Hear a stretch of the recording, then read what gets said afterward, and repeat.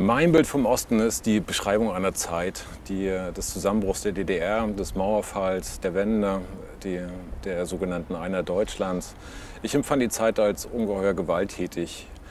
Äh, das waren die Baseballschlägerjahre, eine ständige Gefahr von, von Faschos, wie sie damals hießen, von Neonazis, die auf alles Jagd machen, was äh, für sie anders war oder galt.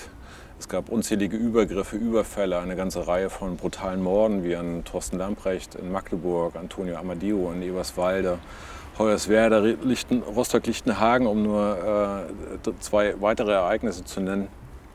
Ähm, während dieser gesamten Zeit waren, waren die Eltern, die Elterngeneration abwesend, beziehungsweise mit sich selbst beschäftigt oder mit dem, was wir jetzt als Strukturbruch bezeichnen, mit Abwicklung, äh, Arbeitslosigkeit, Abwanderung, drohende Armut.